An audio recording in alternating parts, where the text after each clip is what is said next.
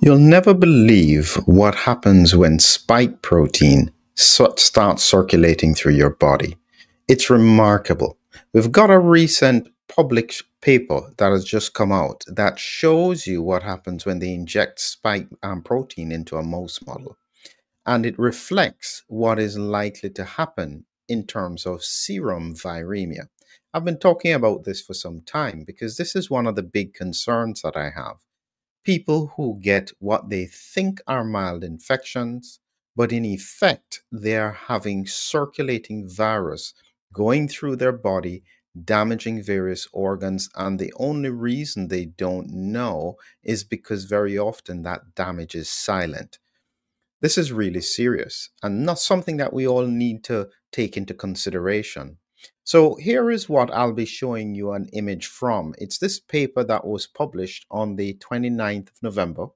Persistence of spike protein in the skull and meninges brain axis may contribute to the neurological sequelae of COVID 19. Now, this has really been focused on a long COVID kind of picture, but it has demonstrated some stuff that we can extrapolate to what is happening um, in the body. And this is part of the reason why I am so concerned about the circulation of the virus. And when I think about what is happening, I reflect on the fact that essentially what you need to do is to protect your body from virus breaking through immunity. Now, just so that before I show you the image, I'll make sure you get the basics here. As usual, I start off with this is the virus, multiple spike proteins on the surface, about 25 on each viral particle. It then gets into the upper airway, infects the cells inside the upper airway, replicates, and then starts to spread in the upper airway before penetrating this mucosal barrier and getting into the systemic circulation. That's where it gets past the lymph nodes and then into the bloodstream. This is the sequence that the virus has to do. Now, it's important to note that if the virus can't penetrate this mucosal barrier, this doesn't happen. This is no longer relevant. And this is why I said mucosal immunity is such a critical part of understanding how to be protected in this ongoing viral circulation, especially in highly vaccinated regions. And I think that it's important to grasp because we know from autopsy studies done earlier in the pandemic that we see more viral dissemination in the vaccinated autopsies than the unvaccinated ones. And so it indicates that even though symptoms may be milder, potentially because of things like IgG4, which is more like a tolerant antibody, which tends to be high in the vaccinated cohort, it may allow the virus to circulate for longer and therefore infect other organs. And so, one of the mistakes people are making is that they keep on presuming that because infections are mild at the moment and the fact that intensive care units are not full, it means everything is over. No.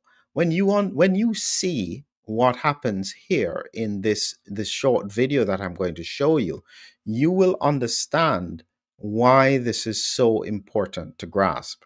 Now, this here is the video and it's showing you a mouse model. What they did is they then injected spike protein into this mouse and then saw what happened.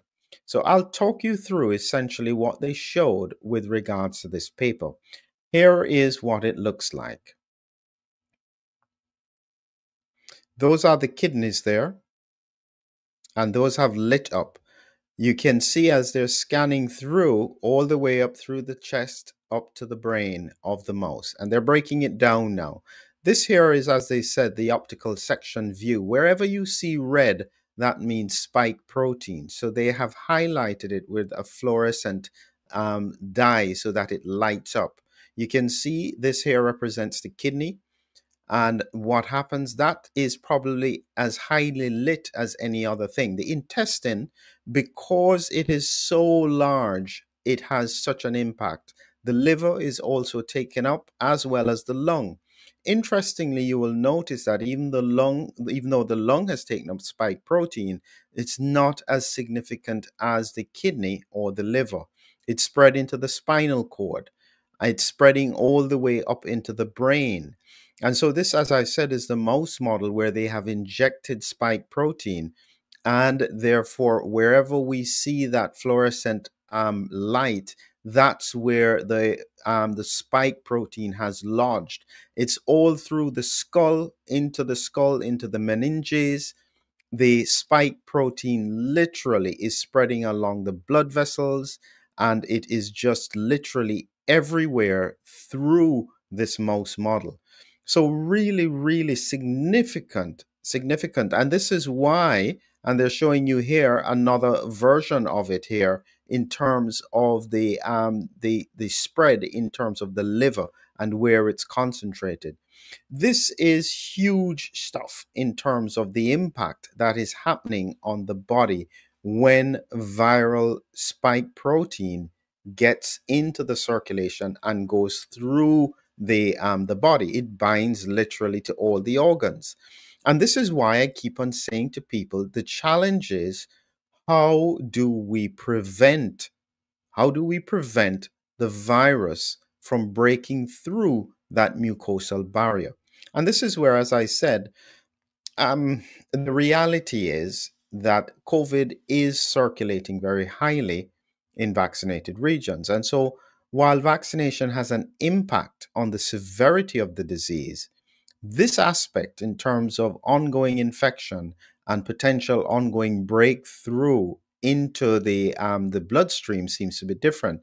Interestingly, in the study, they did show that within 10 days of the mouse being vaccinated, it had less circulation, which is not surprising because the, eh, the antibodies would be at the highest there. But we know that the antibody level drops off quite quickly and you can still have people being infected. And so the big challenge is around mucosal immunity. How do we strengthen this?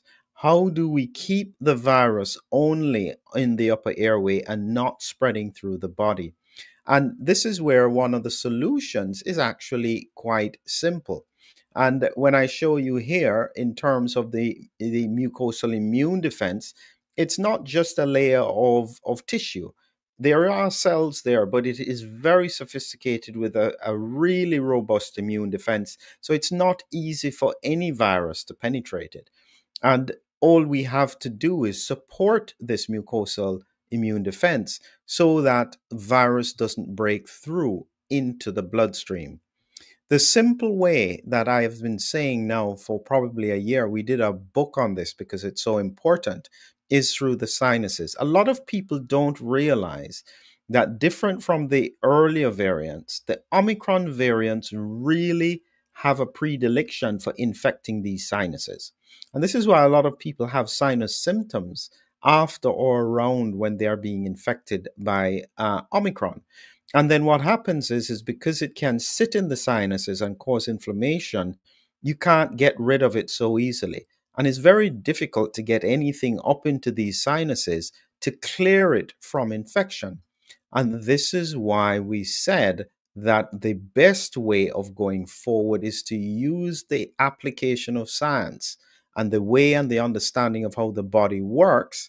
And this is why we created this document nitric oxide, and the sinuses. In this, this is in collaboration with Lumientia, and this was one of our second or third books. Um, and in it, we, we cover quite an important areas explaining the science around what happens with the, si- the sinuses, what is the characteristic of nitric oxide, so that nitric oxide's role in health you know it's antibacterial it's um it's antiviral it's anti inflammatory, it does all kinds of things, and it's a gas. And critically, you increase it in the sinuses just by humming. I mean, it is it is so unbelievable, simple strategy, and this is probably one of the reasons why when we think of things like meditation um, or some of the chanting that is used in in some um, in some religions, that it is so effective at keeping them healthy because it's just increasing the nitric oxide concentration in the sinuses. Now, there are some people who will say, oh, come on, that can't be right. That must be crazy stuff. Well, when we did it, we went and got all the references. So these are all published papers talking about nitric oxide, talking about the sinuses, talking about the impact on the respiratory. This is serious stuff. And so, therefore, you, if you choose to educate other people about this, and this is the point, it's not just about you, is that you should share this with other people because it is so valuable. Very simple strategy. Our hope was that the whole world would start humming and therefore stop the pandemic because then you couldn't get any viral infections through. So make sure you pass on that message. Where do you get it? In the link below, this is the course. There's a full course I've created on this. Um, it's a paid course, but if you are not interested in the paid course, the introduction is free as well as critically the ebook is free. You just have to register for the platform and you can get that um, that short ebook for free. And if you then want you can look at all the explanation about what is nitric oxide the benefits of it how does it neutralize the spike protein. This is just science. And as i said you are best served by being educated having a grasp of what is going on and so, just for a reminder, in case anyone had missed it, let's take you through again what happens with regards to when spike protein is injected into a mouse model. You can see it spreads all through the brain. Wherever it lights up fluorescent is where it is in the body.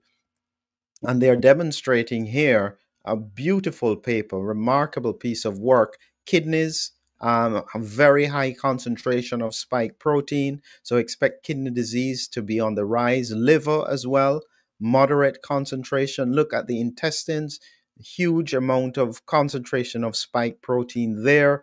All the way through the lungs, even though it causes severe disease, is not as highly concentrated. Um, and this is because it's going from the bloodstream.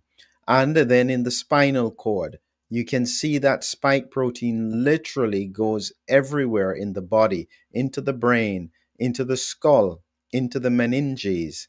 This is absolutely serious stuff. And this is why I'm saying, listen, forget what anybody is telling you about COVID being over. This is just warming up because nobody is taking it seriously. We're now five years into the pandemic and people still have the idea that this is over, this is no big deal, this is just a cold. Believe me, there is no more sophisticated virus I have ever seen from a clinical point of view. And uh, I don't underestimate it. I would not advise you to do the same. Just be prepared. Just recognize that as long as the virus can't get into your bloodstream, it's unlikely to cause you harm. If it just stays in the upper airways, it's then even less than a cold. But once it penetrates and gets into circulating in the bloodstream, that's where we have serious disease happening, not immediately, sometimes three, sometimes six months down the line, because it will damage the kidneys, the liver, the heart, the brain, the spinal cord. It just gets everywhere and triggers inflammatory responses. So let's take this seriously this winter hum yourself into health, protect yourself with your general health, and make sure we stay safe. Have a great evening.